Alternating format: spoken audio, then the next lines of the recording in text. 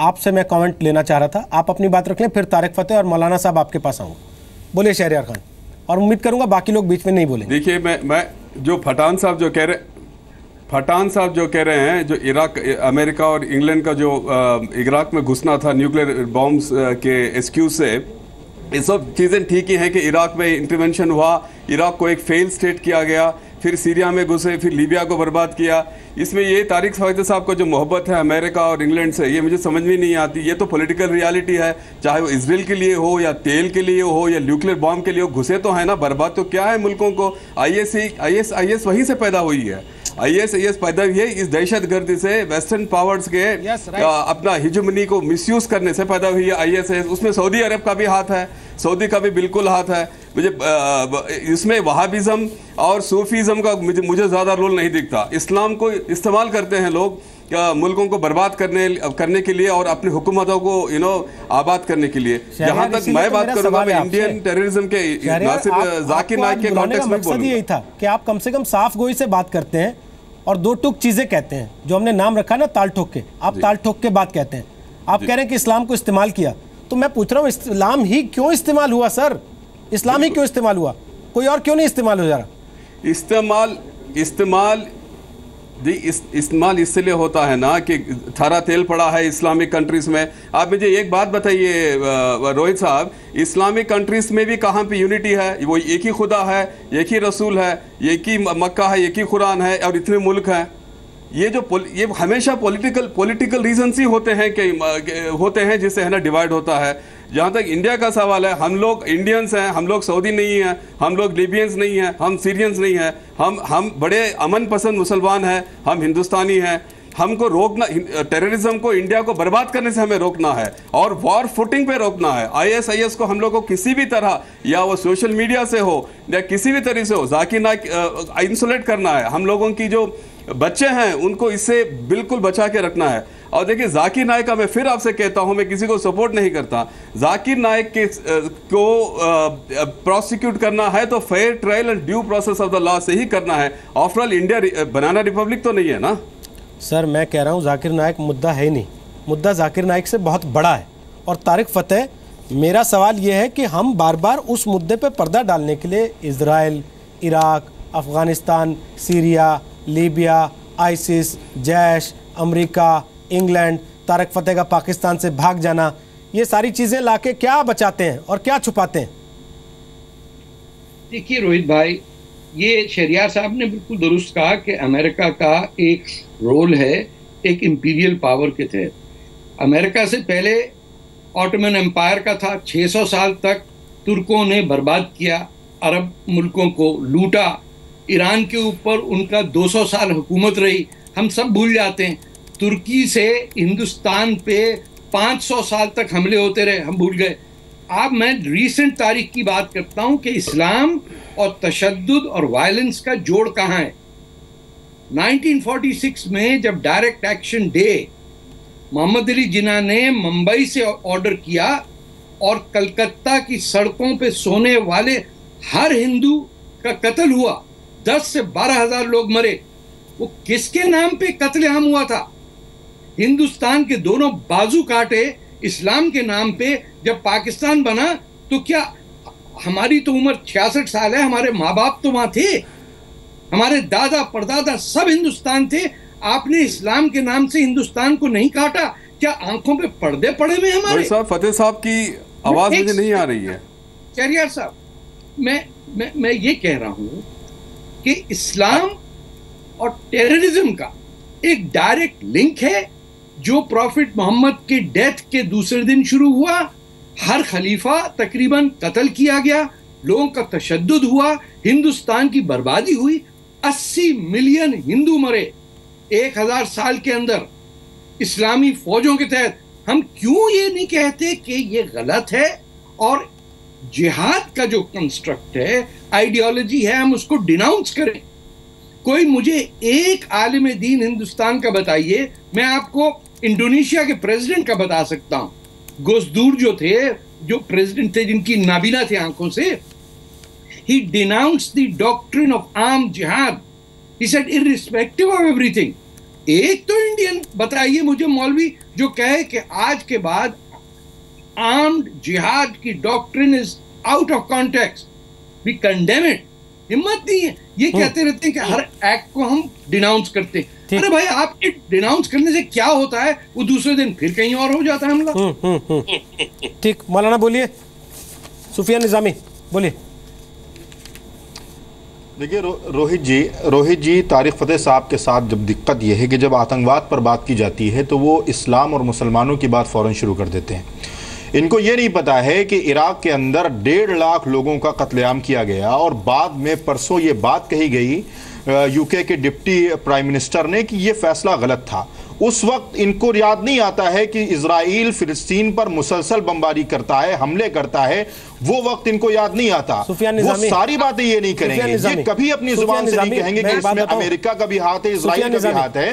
Rohit ji please. Sufiya Nizami मैं एक चीज़ कहना चाहता हूँ बीच में। तारिक साहब प्लीज़। तारिक साहब वो पूरा कर ले। जी। तारिक साहब वो पूरा कर ले। सुफिया निजामी मेरा सिर्फ़ इतना सा कहना है कि आपने क्या कि आप हिंदुस्तान में रहते हैं हिंदुस्तान के बच्चों को पढ़ाते हैं हिंदुस्तान में ही आपका भविष्य है।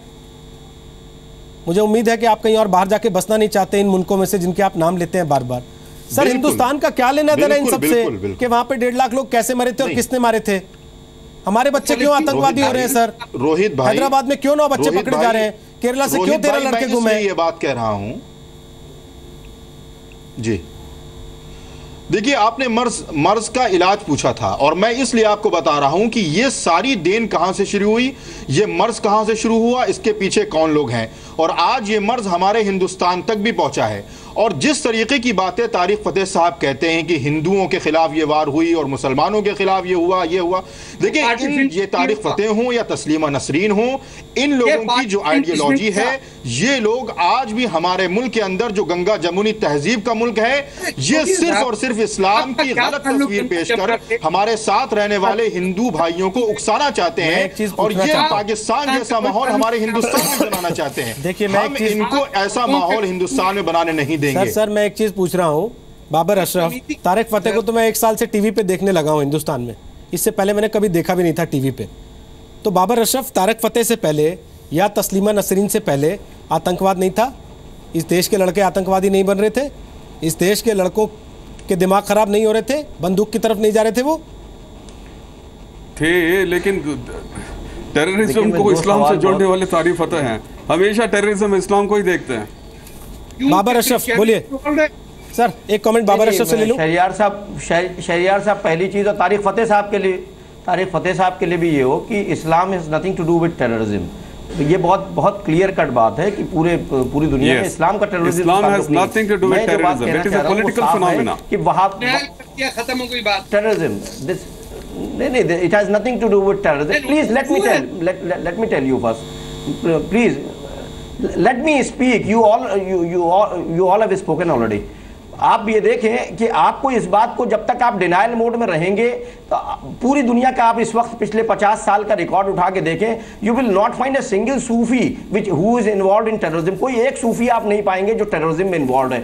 आप पाएँगे, मैं तो बहुत खुल के कहता हूँ इस बात को और साफ़ कहता हूँ चैलेंज कर रहा हूँ, यहाँ पे फिरंगी मेली साहब बैठे हुए हैं, वो बताएँ इस बात को कि कोई भी वहाबी जो है, जितने भी वहाबी हैं, वो मैं ये नहीं कहता सब आतंकवादी हैं, लेकिन दुनिया में जितने भी टेररिज्म में पकड़े गए लोग हैं, वो वहाबी और सल्फी हैं। ये ये बिल्कुल साफ़ लिस्ट है आप उनकी आइडियोलॉजी देख लीजिए। वो सबके सब जो है वो क्या नाम है उसी में है। मैं ये कह रहा हूँ आप आप ये बताएँ कि चिचानिया के अंदर वहाबिज्म क्यों बैंड है? क्या वो इस्लामिक नेशन नहीं है?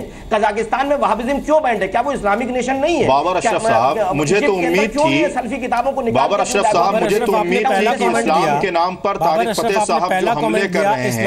आप उसकी निंदा करते उसकी एक चीज़ ना एक चीज़ एक चीज़। बाबर अशरफ आपने पहली लाइन कही तो- Islam has nothing to do with terrorism उसके बाद आप political और सूफिज्म में चले इस्लाम से जोड़ गए तो जो वहाबिज्म को फॉलो कर रहे हैं वो इस्लाम को फॉलो नहीं कर रहे क्या? नहीं मैं तो सीधे से कह रहा हूँ ना वहाबिज्म एक नया इंट्रोडक्शन है पॉलिटिकल चीज़ है जो पूरी दुनिया में से कुछ- पूरी दुनिया में को के लिए मतलब किया गया। जिसको- जिसको वेस्टर्न पावर्स ने खड़ा किया।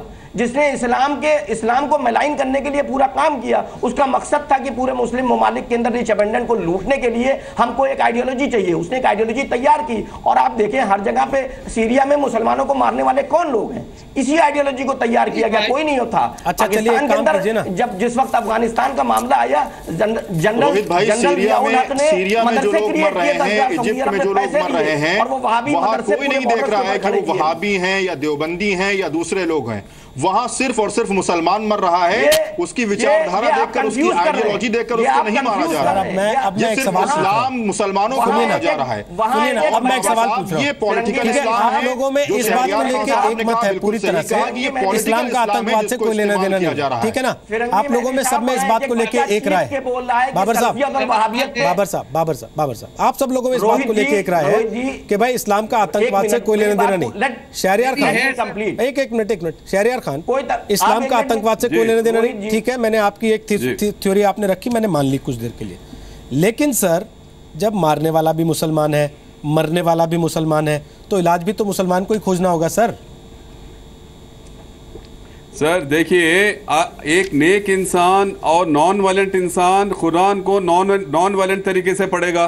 ऐसे इंटरप्रेट करेगा। एक दहशतगर्द कुरान को दहशतगर्द के तरीके से पढ़ेगा वो अपने कन्वीनियंस के लिए सूट करेगा। उसमें मज़हब का क्या प्रॉब्लम है? अब जाकिर नाइक को तो आप इंसान दहशतगर्द मानते हैं इंसान, अपने वैल्यूज़ डालते हैं जाकिर नाइक को दहशतगर्द मानते हैं कि धर्म प्रचारक? ये इंसान मरते हैं। नहीं इंसान मरते हैं इंसान मरते हैं मुसलमान हिंदू नहीं इंसान आप- मरते हैं। यही तो ट्रेजिडी है। आप कि हम लोग हमें को- हम लोग रिलीजियस लाइंस में ही बात करते हैं। आप जाकिर नाइक को धर्म प्रचारक मानते हैं दहशतगर्द मानते हैं?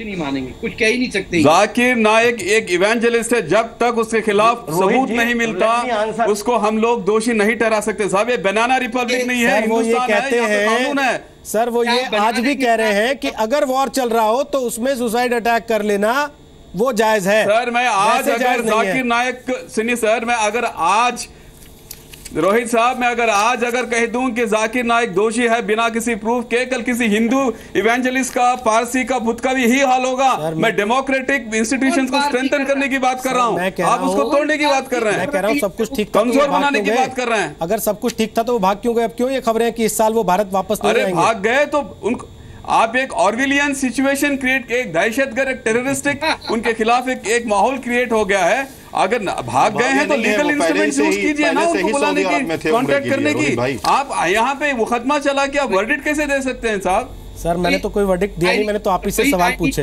एक लास्ट कमेंट तारक फतेह आपसे ले रहा हूँ समय खत्म हो गया। तारक तो रहे फतेह लास्ट कमेंट वही वही last comment Tarek Fatah. Israel और अमेरिका पे ये लगाते रहे इल्ज़ाम।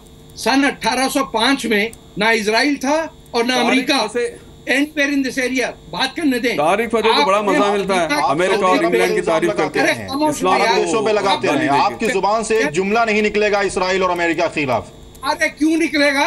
आप बैठे हुए वहाँ करने के लिए। हैं अमेरिका और इसराइल के आशिक हैं पर काम कर रहे हैं इसलिए नहीं निकलेगा। सर आपके पास अमेरिका और इसराइल का एजेंडा है। आप उसके एजेंडे पर काम करते हैं। आप हिंदुस्तान में आके डिबेट कीजिए ना सर, फतेह साहब। करेंगे डरते हैं बड़ा आसान होता है वहाँ बैठ के बात करने का बकवास करने का। सर देखिए ऐसे ऐसे शब्दों का इस्तेमाल न करें। शहरियार खान आप पढ़े लिखे व्यक्ति हम हैं। लोग बैठे हुए हैं ऐसे एक एक दूसरे सम्मानित आदमी को ये कहना कि बकवास कर रहे हैं। ना रोहित साहब sir sir please please please चलिए समय खत्म हो। गया। समय खत्म हो गया हम चर्चा को खत्म कर रहे हैं लेकिन इस बात को मान लीजिए कि पोलियो की तरह आतंकवाद का इलाज करना पड़ेगा। घर घर में घुस के इंजेक्शन देना पड़ेगा और वो इंजेक्शन देने का काम इस्लाम के इन्हीं मौलानाओं को इन्हीं धर्म प्रचारकों को, इन्हीं गुरुओं को देना पड़ेगा, तभी घर घर तक पहुंचेगा, बाहर से कोई आके वो इंजेक्शन नहीं दे सकता। ये बात सीखनी, समझनी बहुत ज़रूरी है। बहुत बहुत धन्यवाद आप सबका। फ़िलहाल तालटुक के में इतना ही।